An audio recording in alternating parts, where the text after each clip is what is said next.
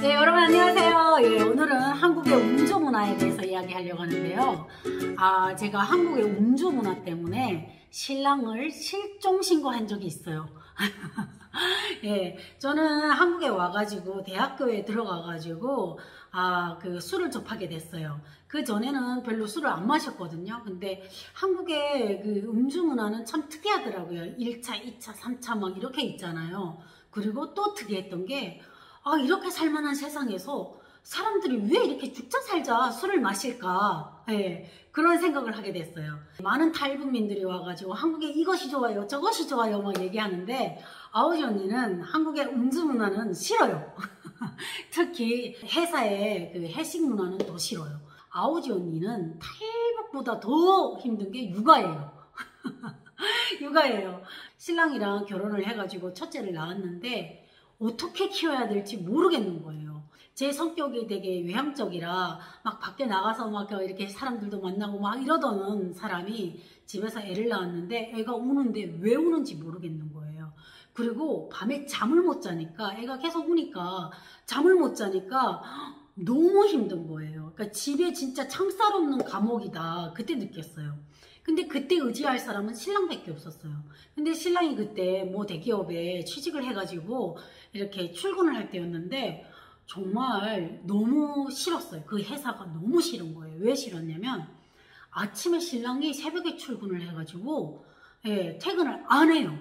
예, 퇴근을 하면 회사 사람들이랑 회식을 가는 거예요. 그럼 회식을 가면 이렇게 빨리 와야 되는데 12시가 지나도 안 오고 1시가 지나도 안 나요. 그럼 한 3시쯤에 와가지고 좀 자다가 6시에 또 씻고 나가는 거예요. 그렇게 신랑을 못 보는 거예요. 대부분 이렇게 애를 낳으면 뭐 시댁이나 친정이나 와서 도와주잖아요. 근데 저는 도와줄 사람이 없었어요. 근데 그 제가 막 지쳤잖아요. 이게 스트레스를 엄청 받는 거예요. 모르니까. 예. 아, 내가 얘를 어떻게 키워야 되지? 모르니까. 근데 신랑은 계속 이렇게 회사에 갔다가 회식하고 새벽에 들어와서 자다가 씻고 새벽에 출근하고 하니까 그때 아, 이게 사람 사는 게 아니다.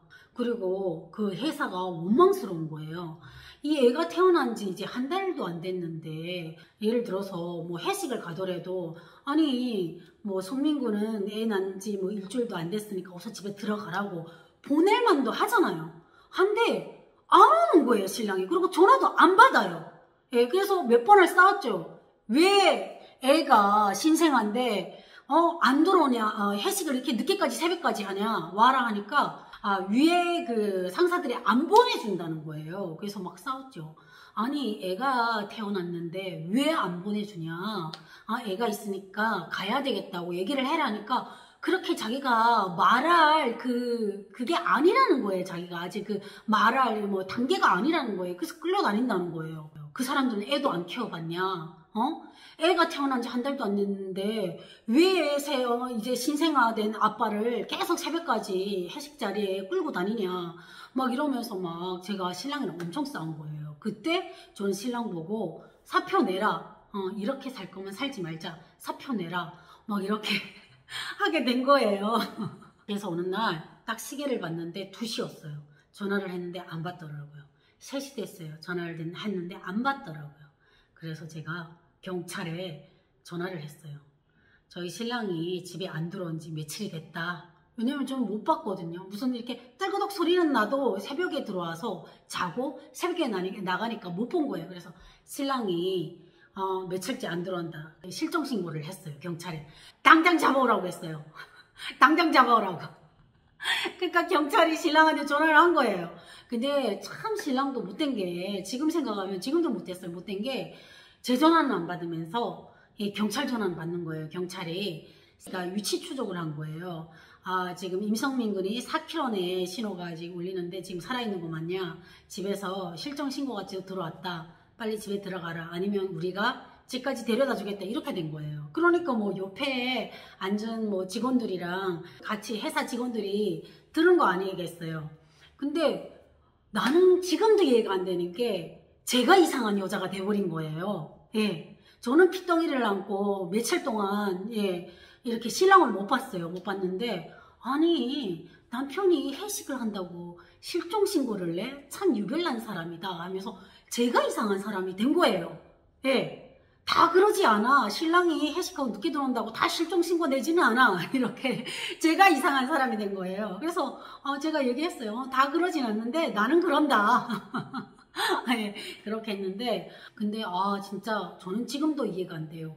대한민국의 회식, 예, 회사의 회식의 술 그 문화는 바뀌어야 된다고 생각해요.